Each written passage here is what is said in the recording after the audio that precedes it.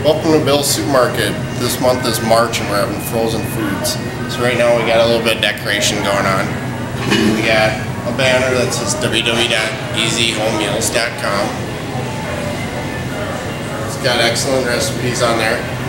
We got some coloring contests that are going above the banners here. Little kids have been coloring them and bringing them in and we've been giving them candy bars. Um, yeah, another address up there, www.easyhomemeals again. And also for Frozen Foods Month, we've been giving away a basketball hoop. There's a drawing for it. It's uh, sponsored by Frito-Lay. Um, it's been a good promotion so far. It's been bringing customers in.